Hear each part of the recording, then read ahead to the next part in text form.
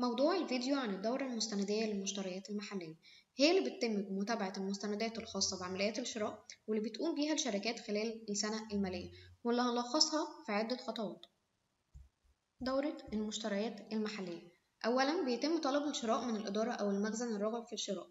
موضح بيه مواصفات الأصناف وكمياتها وبيتم اعتماد طلب الشراء من أمين المخزن أو مدير الإدارة. ثانيا بيتوجه الطلب لإدارة المشتريات بتحصل إدارة المشتريات على عدة عروض أسعار من ثلاث جهات على الأقل وبيتم اختيار العرض المناسب. ثالث خطوة بتحرر إدارة المشتريات أمر الشراء واللي مسؤول عن تنفيذ عملية الشراء. رابعا بيتم توريد الأصناف طبقا لأمر الشراء ويتم استلامها بمعرفة لجنة الفحص من قبل المخازن. خامسا وآخر خطوة معانا بيتم تسجيل فاتورة المشتريات المحلية والقيام بإثبات قيمة المشتريات المحلية وتقيد لحساب النقدية أو البنك في حالة الشراء نقدا أو لحساب المورد في حالة الشراء الآجل. ودلوقتي نقدر نشوف كيفية تطبيق الدورة المستندية الخاصة بالمشتريات المحلية على نظام الأونكس. أول خطوة معانا بندخل على أنظمة الموردين ومنها لنظام إدارة المشتريات عمليات أول شاشة في العمليات وهي طلبات الشراء. طلب الشراء بيتم من خلال أمين المخزن في حالة طلب لأصناف معينة غير متوفرة بالمخزن. الشاشة بتساعدني إن أراقب طلبات الشراء اللي تم إضافتها ولمعرفة الطلبات اللي اكتملت والطلبات المعلقة بحيث يتم اتخاذ الإجراءات اللازمة. بتعتبر الشاشة دي شاشة اختيارية في حالة عدم تفعيل ربط الفاتورة بالأمر والأمر بالطلب. استخدام الطلب ليس له أي أثر محاسبي أو مخزني. طيب أنا عشان أستخدم الشاشة عندي طريقتين. طريقة يدوية ببدأ أدخل الداتا يدويا أو الطريقة الآلية في حالة إن الصنف بيوصل لحد معين بالمخزن بيتم الطلب للشراء آلي من خلال النظام. طيب أنا هيتم استعراض الطريقة اليدوية.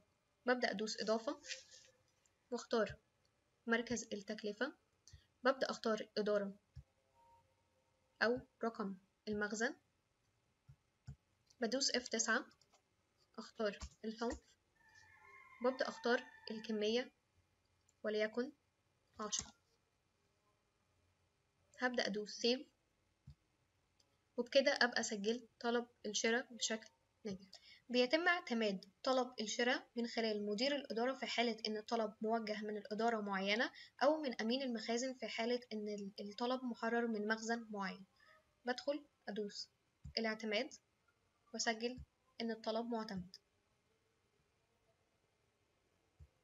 تاني خطوة معانا وهي شاشة عروض الأسعار.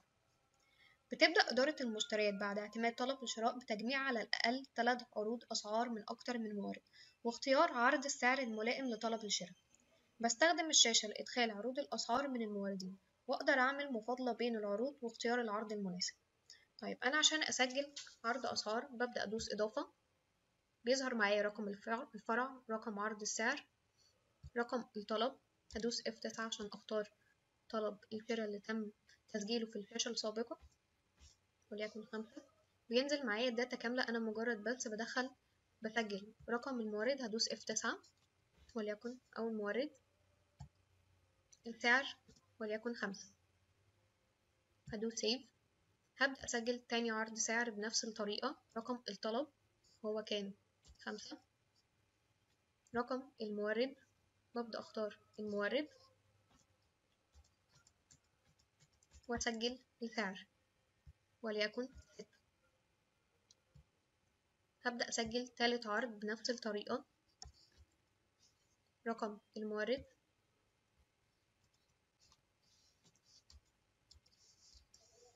وأسجله المرة دي بسعر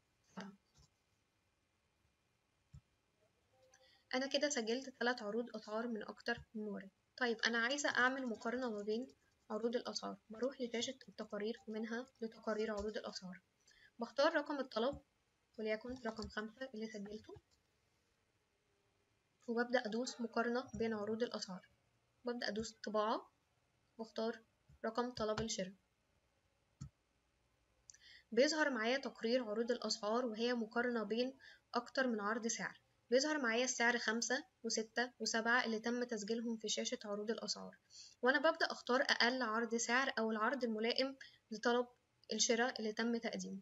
طيب أنا عندي عرض سعر رقم 12 13 14 وليكن هو السعر رقم 5 اللي أنا هختاره. فهدخل لشاشة عروض الأسعار وأعمل اعتماد لعرض السعر رقم 12 برجع تاني لشاشة عروض الأسعار وببدأ أعتمد عرض السعر رقم 12 دوس اعتماد وأسجل إن هو معتمد. تالت شاشة معانا وهي شاشة أوامر الشراء. هي المسؤولة عن تنفيذ عملية الشراء بعد إتمام الإجراءات الداخلية وبتقوم إدارة المشتريات بتنفيذها. بقدر كمان أراقب كل أوامر الشراء اللي تم إضافتها وأقدر كمان أشوف الأوامر المكتملة والأوامر المتأخرة. هبدأ أستخدم الشاشة إزاي؟ هدوس إضافة. معايا رقم الأمر رقم خمسة المخزن وليكن المخزن الرئيسي. إنزال البيانات من عرض سعر واللي تم تسجيله في الشاشة اللي قبل دي. ببدأ أختار عرض السعر دوس F9 بيظهر معايا عروض الأسعار اللي تم اعتمادها في الشاشة الفوق بدوس enter بيظهر معايا كل ال data كاملة. أنا مش كل اللي عليا إن أنا بعمله إن أنا بعمل save وأبقى كده سجلت أمر الشراء. رابع خطوة معانا وهي إذن توريد مشتريات محلية. وهي عملية استلام البضاعة من قبل المخازن قبل القيام بإصدار فاتورة الشراء. وتظهر الشاشة عند تفعيل إذن توريد مشتريات محلية. بستخدم الشاشة لإدخال كافة البيانات عند عملية الاستلام ويتم اعتماد إذن التوريد في قسم المشتريات من أجل احتساب تكاليف فاتورة المشتريات. بستخدم الشاشة بإن أنا بدوس إضافة. بيظهر معايا رقم الفرع رقم المخزن وليكن إن أنا هعمل توريد للمخزن الرئيسي بختار رقم مركز التكلفة نوع التوريد إذن توريد مخزني. رقم الأمر ببدأ أدوس F9